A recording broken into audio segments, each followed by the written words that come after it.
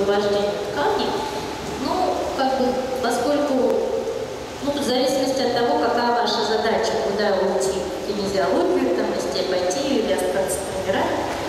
Вот. Если вы все-таки еще тренеры, то можно как-то вот использовать там более простые команды, более простые техники, да, чтобы помочь этой линии освободиться. Да? Вот, например, то, что мы сегодня делали на мастер-классе. Ты была сегодня в 11 часов на мастер-классе? Нет, поэтому не расскажу.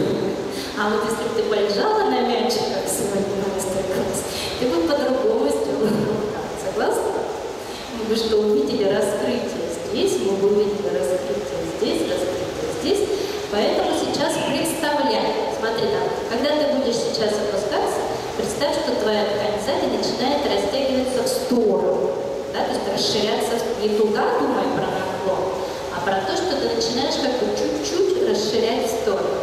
Давай пробуем. Мягко ткань штык расширяется в сторону. Так, стоп, стоп, стоп, плечи тоже в сторону. Понимаете, куда я веду, да?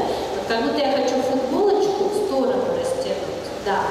То есть я даю пространство позвоночнику, куда он начнет делать артикуляцию, да, потому что если мы говорим, как мы на пилатесе говорим, не хватает артикуляции хорошей, да? Вот мы позволяем сделать артикуляцию, но ноги еще стоят на месте. Давай, давай, давай. Ну, уже лучше. Согласны? Уже лучше. Она вот просто здесь освободила, представила футболочку уже, и ее даже немножечко мы истинную картину